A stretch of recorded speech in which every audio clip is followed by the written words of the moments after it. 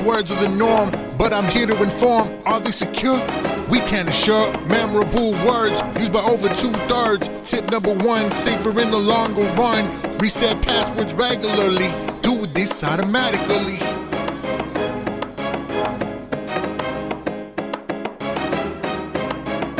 Tip number two, I'll give you a clue. Random strings are harder to guess. The longer the better, unless hackers appear and try to crack. Can't get your identity back. Cracking 16 digit passwords takes under an hour. It's time to reverse the balance of power.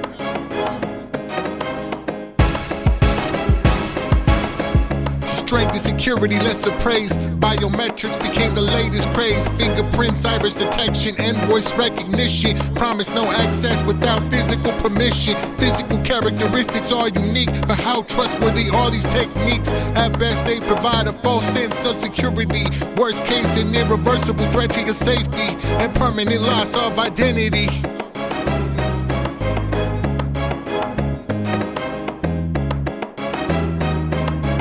Online social media footprint lets hackers make dummy fingerprints. They take copies of photos of your hands, then use a scanner. That's all it demands. Glass in hand, night out at a bar. They copy your print, ID of raw.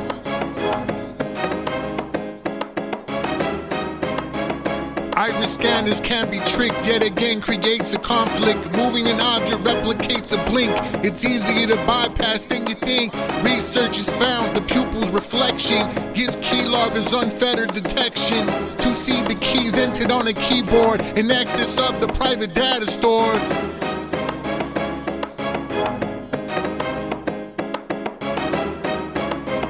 Audio clips mined online for hackers, it's a gold mine. Can replicate your voice with spam calls. You wouldn't even notice these pitfalls. Or they copy your voice in close proximity while maintaining their anonymity. Siri and Google Now voice apps didn't stop these attacks. Biometric theft is permanent. You can't change your iris, voice, or fingerprints.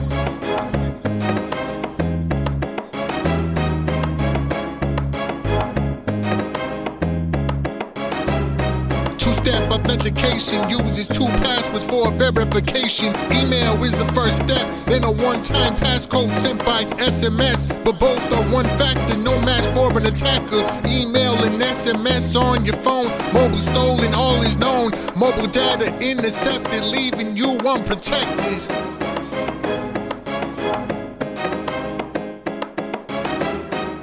Two-factor authentication differs. Two separate factors act as triggers.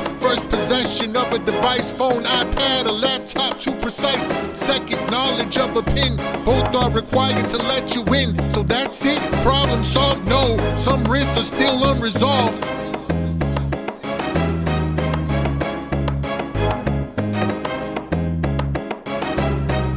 Far superior is key-based 2FA. This is what HireFaster hopes to convey. The pin is neither transmitted nor stored. Phone stolen, thieves can't get aboard. A few false attempts with your pin. Hackers locked out, security's built in. An app with its own keypad makes the keyloggers mad. Hide the